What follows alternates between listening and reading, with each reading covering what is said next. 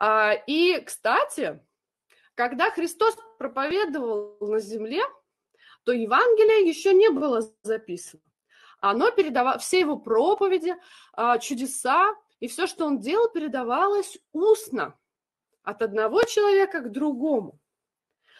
А, и записано оно было уже после того, как Господь воскрес, потом вознесся на небеса, и уже вот после этого апостолы потихоньку начали записывать а, все происходящее до этого, все события, чтобы можно было э, и с другими, потому что христиан становилось все больше, и нужно было, уже можно было, чтобы передавать письменные источники, чтобы они могли прочитать. Потому что, если вы знаете, раньше книги были очень дорогим удовольствием, а, и мало вообще людей, которые умели их читать, да и писать, в принципе. Поэтому это был очень-очень большой труд.